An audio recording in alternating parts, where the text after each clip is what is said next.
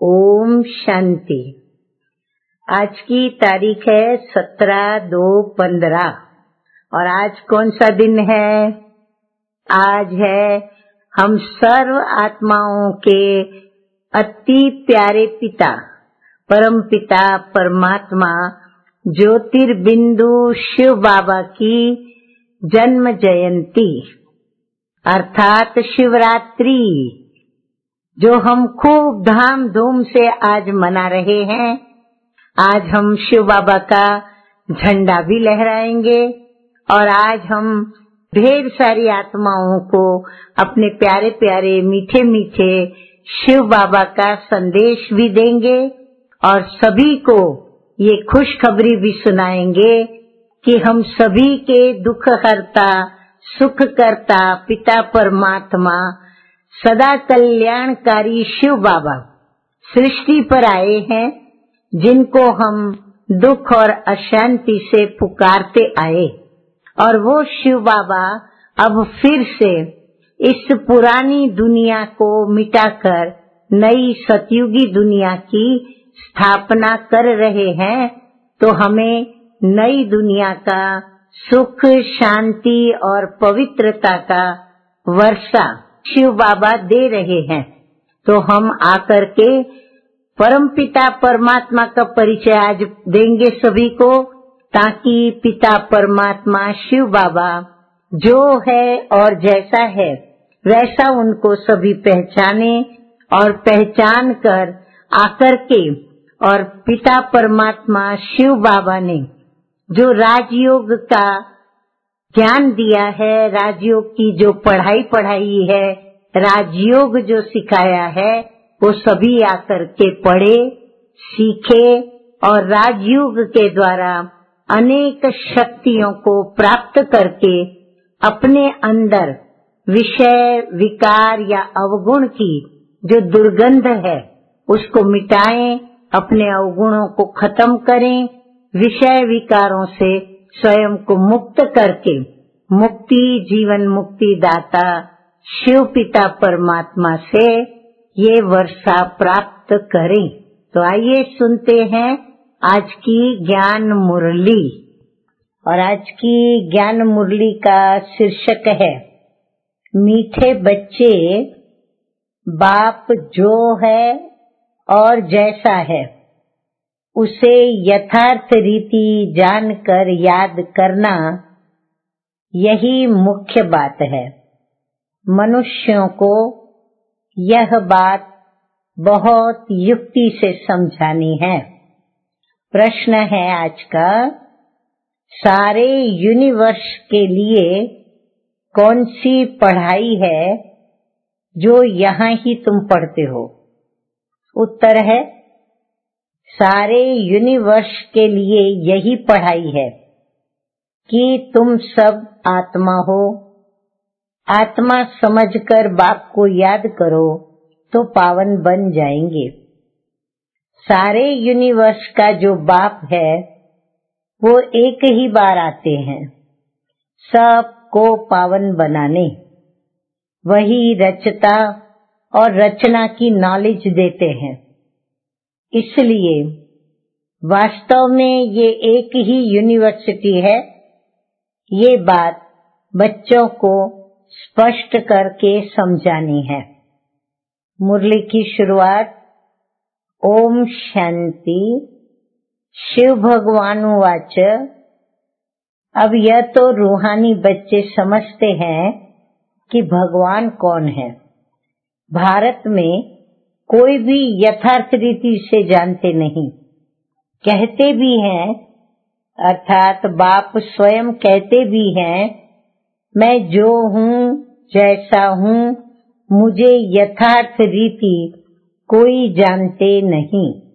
तुम्हारे में भी नंबरवार हैं। नंबरवार पुरुषार्थ अनुसार जानते हैं। भले यहाँ रहते हैं परंतु यथार्थ रीति से नहीं जानते। यथार्थ रीति जानकर और बाप को याद करना ये बड़ी मुश्किल आता है। भले बच्चे कहते हैं कि बहुत सहज है, परंतु मैं जो हूँ, मुझे निरंतर बाप को याद करना है और बुद्धि में ये युक्ति रहती है।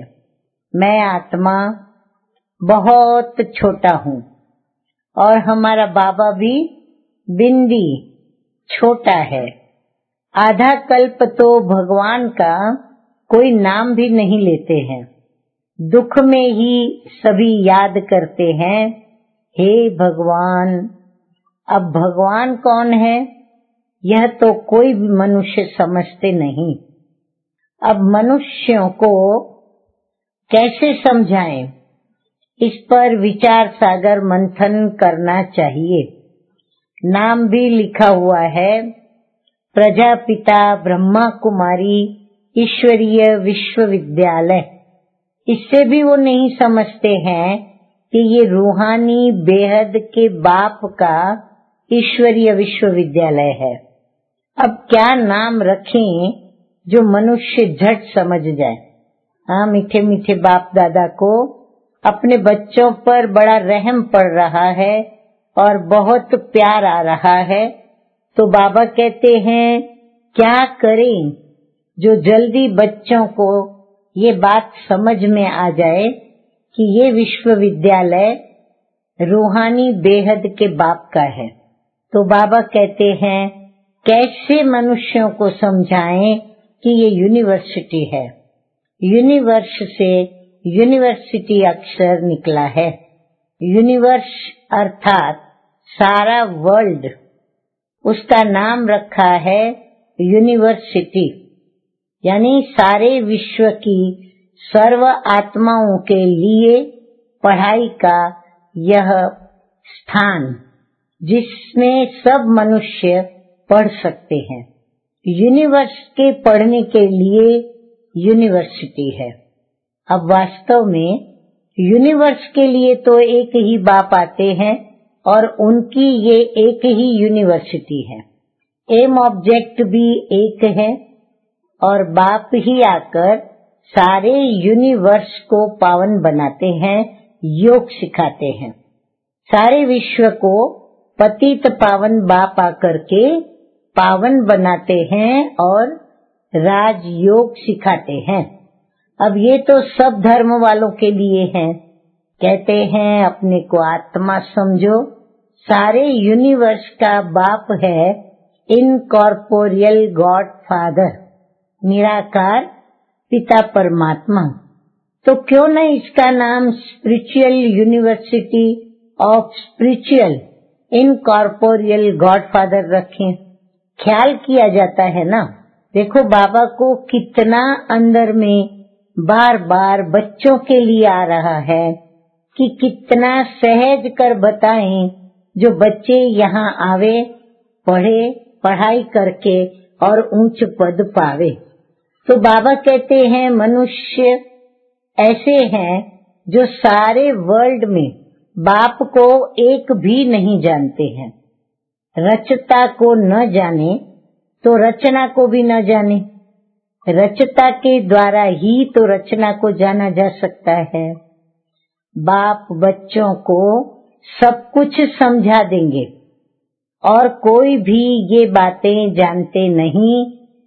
ऋषि मुनि भी नेति नेति करके गए, अर्थात नहीं जानते हैं, ऐसा कह के गए। तो बाप कहते हैं, तुमको पहले यह रचता और रचना की नॉलेज नहीं थी। ठीक है, हमारे पास नॉलेज ये नहीं थी। तो अभी रचता ने समझाया है। हाँ रचता बाबा ने हम बच्चों को समझाया है। तो बाप कहते हैं, मुझे सब पुकारते भी हैं कि आकर हमको सुख शांति दो, क्योंकि अभी दुख और अशांति है। उनका नाम ही है दुख हरता, सुख करता। तो वो कौन है? भगवान। वो कैसे दुख हर कर, सुख देते हैं, ये कोई नहीं जानते हैं। तो ऐसा क्लियर कर लिखे, जो मनुष्य समझे, कि निराकार गॉड फादर ही ये नॉलेज देते हैं। ऐसे ऐसे विचार सागर मंथन करना चाहिए। तो बाप समझाते हैं कि मनुष्य सभी हैं पत्थर बुद्धि। अभी तुमको पारस बुद्धि बना रहे हैं। कौन बना रहा है हमें पारस बुद्धि? स्वयं भगवान हमें पारस बुद्धि बना रहे हैं। वास्तव में पारस बुद्धि उन्हें कहेंगे जो कम से कम पचास से अधिक मार्क्स ले। फेल होने वाले पारस बुद्धि नहीं। राम ने भी कम मार्क्स लिए। तब तो क्षत्रिय दिखाया है। यह भी कोई समझते नहीं कि राम को बाण क्यों दिखाए हैं। श्री कृष्ण को स्वदर्शन चक्र दिखाया है कि उसने सबको मारा और राम को बाण दिखाए हैं। एक खास मैगजीन निकलती है जिसमें दिखाया है कि श्री कृष्ण कैसे स्वदर्शन चक्र से अकासुर, बकासुर आदि को मारते हैं। अब दोनों को हिंसक बना दिया है। कौन दो जन? श्री कृष्ण और श्री राम। दोनों को हिंसक बना दिया है और फिर डबल हिंसक बना दिया है। कहते हैं उन्हों को भी बच्चे पैदा हुए ना? अरे, वह तो है ही निर्विकारी देवी देवता। वहाँ रावण राज्य है ही नहीं। इस समय रावण संप्रदाय कहा जाता है। अभी तुम समझाते हो। हम योग बल से विश्व की बादशाही लेते हैं तो क्या योग बल से बच्चे नहीं हो सकते? कि वो है ही निर्विकारी दुनिया। हाँ कौन सी? जो नई दुनिया परमपिता परमात्मा वर्तमान स्थापन कर रहे हैं, वह है सतयुगी दुनिया। तो बाबा कहते हैं कि वो है ही निर्विकारी दुनिया। अभी तुम शूद्र से ब्राह्मण बने हो, ये ऐसा अच्छी रीति से समझाना है। जो मनुष्य समझे कि इनके पास पूरा ज्ञान है, थोड़ा भी इस बात को समझेंगे तो समझा जाएगा कि ये ब्राह्मण कुल का है। कोई के लिए तो झट समझ जाएँगे, ये ब्राह्मण कुल का है या नहीं। आते तो अनेक प्रकार के हैं ना। तो तुम spiritual university of spiritual incorporeal God father लिख करके तो देखो क्या होता है। बाबा कहते ट्राई तो करो ऐसा लिखने की। विचार सागर मंथन कर अक्षर मिलाने होते हैं। इसमें बड़ी युक्ति चाहिए लिखने की, जो मनुष्य समझे कि यह नॉलेज गॉड फादर समझाते हैं अथवा राज योग सिखलाते हैं। अक्षर भी कॉमन है। जीवन मुक्ति D deity sovereignty in second तो ऐसे ऐसे अक्षर हों जो मनुष्यों की बुद्धि में बैठे। ब्रह्मा द्वारा विष्णुपुरी की स्थापना होती है। अब मन मना भव का अर्थ है, बाप और वर्षे को याद करो। तुम हो ब्रह्मा मुख वंशावली ब्राह्मण कुल भूषण स्वदर्शन चक्रधारी। अब वह तो स्वदर्शन चक्र विष्णु को दिखाते हैं। कृष्ण को भी चार भुजाएँ दिखाते हैं। अब उनको चार भुजाएँ हो कैसे सकती? बाप कितना अच्छी रीति समझाते हैं। बच्चों को बड़ा विशाल बुद्धि, पारस बुद्धि बनना है। सतयुग में यथा राजा रानी तथा प्रजा पारस बुद्धि कहेंगे। वो है पारस दुनिया, ये है पत्थरों की दुनिया। तुमको ये नॉलेज मिलती है मनुष्य से देवता बनने की। तुम अपना राज्य श्री मत से फिर से स्थापन कर रहे हो। बाबा हमको युक्ति बतलाते हैं कि राजा महाराजा कैसे बनते हो। तुम्हारी बुद्धि में ये ज्ञान भर जाता है औरों को समझाने के लिए। गोले पर समझाना भी बड़ा सहज है। गोले पर माना सृष्टि रूपी चक्र पर। इस समय बाबा कहते हैं जनसंख्या देखो कितनी है। सतयुग में कितने थोड़े होते हैं, अभी संगम है। ब्राह्मण तो थोड़े होंगे ना। ब्राह्मणों का युग भी छोटा है, क्योंकि संगम युग बहुत छोटा युग है। ब्राह्मणों के बाद हैं देवताएँ, फिर वो वृद्धि को पाते हैं। तो ये जैसे बाजोली होती है, ऐसे बाजोली है। तो सीढ़ी के चित्र के साथ विराट रूप भी होगा तो समझाने में क्लियर होगा। बाबा अलग अलग ढंग से क्या करे जो बच्चों को समझ में आवे? तो अभी बाबा कहते हैं, सीढ़ी के साथ विराट रूप का भी चित्र होगा तो समझाने में क्लियर होगा, उनको सहज बुद्धि में बैठेगा। अब जो तुम्हारे कुल के होंगे, उनकी बुद्धि में रचता और रचना की नॉलेज सहज ही बैठ जाएगी। उनकी शक्ल से भी मालूम पड़ जाता है कि ये हमारे कुल का है या नहीं। हाँ बाबा कहते परख शक्ति से हम ये भी परख सकते हैं कि ये हमारे कुल का है या नहीं। अगर नहीं होगा तो उसका लक्षण क्या दिखाई पड़ेगा? तो बाबा कहते हैं, वो तवाई की तरह सुनेगा। माना सुनते हुए भी नहीं सुनेगा, और ऐसे सुनेगा जैसे उसको कुछ भी समझ में नहीं आ रहा है। समझू होगा वो तो ध्यान से सुनेगा। तो बाबा कहते हैं, एक बार किसको पूरा तीर लगा तो फिर आते ही रहेंगे। कोई प्रश्न पूछेंगे और कोई अच्छा फूल होगा तो रोज आप ही आकर पूरा समझ कर चला जाएगा। चित्रों से तो कोई भी समझ सकते हैं कि ये बरोबर देवी देवता धर्म की स्थापना स्वयं बाप कर रहे हैं। कोई न पूछते भी आप ही समझते रहेंगे। कोई प्रश्न पूछेंगे और समझेंगे, परंतु बाबा कहते कोई प्रश्न न भी पूछे, आप ही समझते रहेंगे। कोई तो बहुत पूछते रहेंगे और समझेंगे कुछ भी नहीं। हाँ हमारा भी टाइम वेस्ट करेंगे। फिर उनको समझाना होता है, हंगामा तो करना नहीं है। फिर कहेंगे, ईश्वर तुम्हारी रक्षा भी नहीं करते हैं। अब वो रक्षा क्या करते हैं, सो तो तुम जानते हो। कर्मों का हिसाब किताब तो अपना चुकतू करना है। ऐसे बहुत हैं। तबीयत खराब होती है तो कहते हैं, हे प्रभु, रक्षा करो।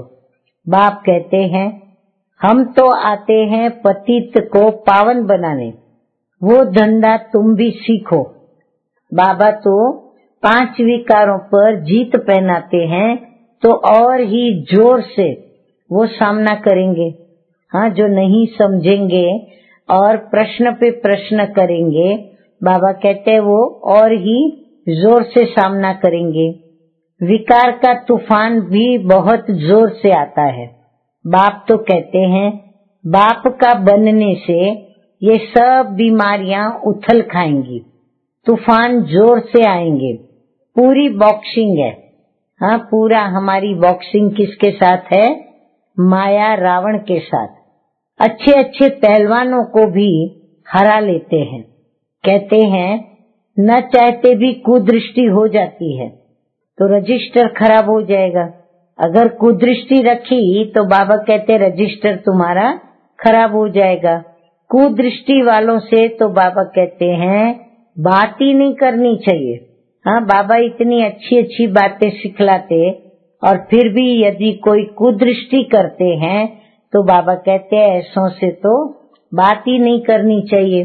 बाबा सभी सेंटर्स के बच्चों को समझा रहे हैं कि कुदृष्टि वाले बहुत ढेर हैं। नाम लेने से और ही ट्रेटर बन जाएँगे। अब बाबा जानते हैं कि सभी सेंटर्स पर ऐसे कुदृष्टि रखने वाले बच्चे बहुत हैं। पर बाबा कहते हैं, अगर बाबा नाम लेवे तो वो बिगड़ पड़ेंगे और डिसर्विस करने वाले ट्रेटर बन जाएँगे। तो बाबा आगे कहते हैं कि अपनी सत्यानाश करने वाले, वे फिर उल्टे काम करने लग पड़ते हैं। काम विकार नाक से पकड़ लेता है। माया छोड़ती नहीं है। कुकर्म, कुदृष्टि और कुवचन निकल पड़ते हैं। कुचलन हो पड़ती है। इसलिए बहुत बहुत सावधान रहना है। हाँ तो यहाँ हम सभी बच्चे अपना अपना चार्ट चेक करेंगे। अपने दिल दर्पण में हम देखेंगे कि हम कहीं कुकर्म तो नहीं करते, कुदृष्टि तो नहीं, कुवचन तो नहीं बोलते, या फिर हमारी चलन, कुचलन तो नहीं तो इसीलिए स्वयं को सावधान हो करके हर कर्म को करना है। आगे मीठे मीठे बाप दादा कहते हैं कि तुम बच्चे जब प्रदर्शनी आदि करते हो तो ऐसी युक्ति रचो, जो कोई भी सहज समझ सके। ये गीता ज्ञान स्वयं बाप पढ़ा रहे हैं। इसमें कोई शास्त्र आदि की तो बात ही नहीं है, ये तो पढ़ाई है। किताब, गीता तो यहाँ है नहीं। बाप पढ़ाते हैं सन्मुख। किताब थोड़े ही हाथ में उठाते हैं। फिर ये गीता नाम कहाँ से आया? ये सब धर्म शास्त्र बनते ही बाद में है। कितने अनेक मठ और पंथ हैं। सबके अपने अपने शास्त्र हैं। ताल डाल जो भी हैं। छोटे छोटे मठ, पंथ, उनके भी शास्त्र आदि अपने अपने हैं। तो वो हो गए सभी बाल बच्चे उनसे तो मुक्ति मिल न सके। सर्व शास्त्रमयी शिरोमणि गीता गाई हुई है। और गीता का भी ज्ञान सुनाने वाले तो होंगे ना। तो ये नॉलेज बाप ही आकर के देते हैं। कोई भी शास्त्र आदि हाथ में थोड़े ये बाबा के। अब बाबा जब ये ज्ञान देते हैं तो कोई शास्त्र हाथ में रखकर या शास्त्र को याद रखकर मुख पाठ सुनाते नहीं है। बाबा कहते, मैं भी शास्त्र नहीं पढ़ा हूँ, तुमको भी नहीं पढ़ाते हैं। वो सीखते हैं और सिखलाते हैं। यहाँ मुख्य है ही चार धर्मों के चार धर्म शास्त्र यहाँ शास्त्रों की कोई बात नहीं। बाप है ही नॉलेजफुल बाप कहते हैं कि हम तुमको सभी वेदों, शास्त्रों का सार बतलाते हैं। मुख्य चार धर्म और चार धर्म शास्त्र ब्राह्मण धर्म का कोई किताब है क्या? कितनी समझने की बातें हैं। ये सब बाप बैठ डिटेल में समझाते हैं। मनुष्य सब पत्थर बुद्धि हैं, तब तो इतने कंगाल बने हैं। देवताएँ थे तो गोल्डन एज में थे। वहाँ सोने के महल बनते थे। सोने की खानिया थी। अभी तो सच्चा सोना भी है नहीं। सारी कहानी भारत पर ही है। तुम देवी देवता, पारस बुद्धि थे। विश्व पर तुम राज्य करते थे। अभी ये तुम्हें स्मृति आई है कि हम स्वर्ग के मालिक थे, फिर नरक के हम मालिक बने हैं। अब फिर पारस बुद्धि बन रहे हैं।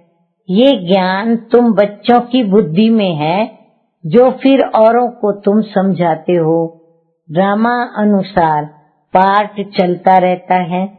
जो टाइम पास होता है, सो एक्यूरेट, फिर भी पुरुषार्थ तो कराएगा ना? जिन बच्चों को नशा है कि स्वयं भगवान हमको हेवन का मालिक बनाने के लिए पुरुषार्थ कराते हैं तो उनकी शक्ल बड़ी फ़र्स्ट क्लास खुशनुमा रहती है। बाप आते भी हैं बच्चों को पुरुषार्थ कराने और प्रालब्ध के लिए। अब ये भी तुम जानते हो कि दुनिया में थोड़े जानते हैं कोई। बाबा कहते, ये भी बातें तुम जानते हो। दुनिया में कोई नहीं जानते। हेवन का मालिक बनाने, भगवान पुरुषार्थ कराते हैं तो कितनी खुशी होनी चाहिए। शक्ल बड़ी फ़र्स्ट क्लास खुशनुमा होनी चाहिए। बाबा कहते, चेहरा बड़ा हर्षित मुख होना चाहिए। बाप की याद से तुम सदैव हर्षित रहेंगे। बाप को भूलने से ही मुरझाइश आती है। हाँ बाबा को भूल जाते हैं तो उदासी आती है। बाप और वर्षे को याद करने से खुशनुमा हो जाते हैं। हरेक की सर्विस से समझा जाता है कि ये खुशनुमा है या नहीं, और कितना प्रतिशत ये खुशनुमा रहते हैं। बाप को बच्चों की खुशबू तो आती है ना। सपूत बच्चों से खुशबू आती है और कपूत बच्चों से बदबू आती है। बगीचे में खुशबूदार फूल ही उठाने के लिए दिल होगी। हाँ अगर हम बगीचे में जाएँ तो जो मुरझाया हुआ फूल होगा, उसको हम कभी तोड़ के अपना नहीं बनाएँगे। लेकिन जो खिला हुआ, सुगंध वाला फूल होगा तो उस सुगंधित पुष्प को हम तुरंत तोड़ते और उनको उठाने की दिल होती है। अक्त को कौन उठाएँगे? बाप को यथार्थ रीति याद करने से ही बाबा कहते हैं कि विकर्म विनाश होंगे। तो हमें फूल बनना है ऐसा जो किसी को भी उठाने की दिल करे। अक का फूल नहीं बनना है। बाबा कहते हैं, हमें अक जैसा माना दुख देने वाले कांटे नहीं बनना है। अच्छा तो मीठे मीठे सिकिल दे बच्चों प्रति मात पिता बाप दादा का याद प्यार और गुड मॉर्निंग, रूहानी बाप की रूहानी बच्चों को नमस्ते। हम रूहानी बच्चों का रूहानी बाप दादा को याद प्यार, गुड मॉर्निंग और नमस्ते नमस्ते। धारणा के लिए मुख्य सार की दो बातें। नंबर एक है, माया की बॉक्सिंग में हारना नहीं है। ध्यान रहे, कभी मुख से कुवचन न निकले। कुदृष्टि, कुचलन, कुकर्म न हो जाए। नंबर दो है फ़र्स्ट क्लास खुशबूदार, फूल बनना है। नशा रहे। कि स्वयं भगवान हमको पढ़ाते हैं। बाप की याद में रहकर सदैव हर्षित रहना है, कभी मुरझाना नहीं है। अब सुनेंगे सतगुरु बाबा से वरदान तो वरदान है आज का ड्रामा की नॉलेज से अचल स्थिति बनाने वाले प्रकृति व माया जीत भव। प्रकृति व माया के द्वारा कैसा भी पेपर आए, लेकिन जरा भी हलचल न हो। ये क्या, ये क्यों, ये क्वेश्चन भी उठा। जरा भी कोई समस्या वार करने वाली बन गई तो बाबा कहते हैं कि फेल हो जाएँगे। इसलिए कुछ भी हो, लेकिन अंदर से ये आवाज़ निकले कि वाह मीठा ड्रामा, वाह। हाय, ये क्या हुआ? ये संकल्प भी ना आए। ऐसी स्थिति हो जो कोई संकल्प में भी हलचल न हो। सदा अचल, अडोल स्थिति रहे, तब प्रकृति जीत व माया जीत का वरदान प्राप्त होगा। स्लोगन है आज का, खुशखबरी सुनाकर खुशी दिलाना यही सबसे श्रेष्ठ कर्तव्य है। तो कौन सी खुशखबरी सबको सुनानी है कि स्वयं भगवान आए हैं और स्वयं भगवान हमें पढ़ाते हैं और ये यूनिवर्सिटी स्वयं भगवान ने ही स्थापन की है, खोली है। तो सभी आकर के विश्व का मालिक बने, भगवान विश्व का मालिक बना रहे हैं। तो ये खुशखबरी सुनाकर खुशी दिलाना यही सबसे श्रेष्ठ कर्तव्य है। अच्छा ओम शांति।